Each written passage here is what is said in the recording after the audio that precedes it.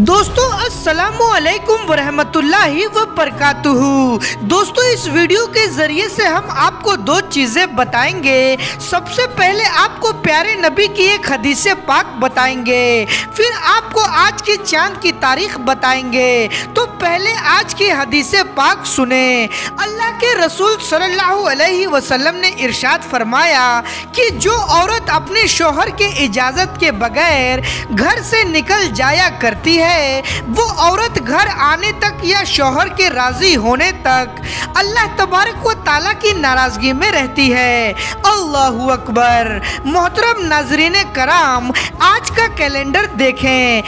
चाँद की तारीख है। चार जमादिल अव्वल 1445 हिजरी। आज अंग्रेज़ी की तारीख है 19 नवंबर 2023 और आज जो दिन है, वो इतवार का दिन है, यानी संडे। तो दोस्तों, रोज़ाना की इस्लामी तारीख जानने के लिए हमारे चैनल को सब्सक्राइब कर लें, ताकि हमारी वीडियोस आप तक पहुँच सके।